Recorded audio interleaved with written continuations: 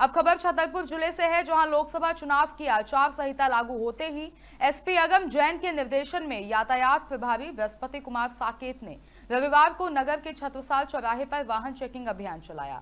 वहीं इस वाहन चेकिंग अभियान में राजनीतिक दलों से जुड़े वाहन चालकों के झंडे, बैनर हटवाए गए।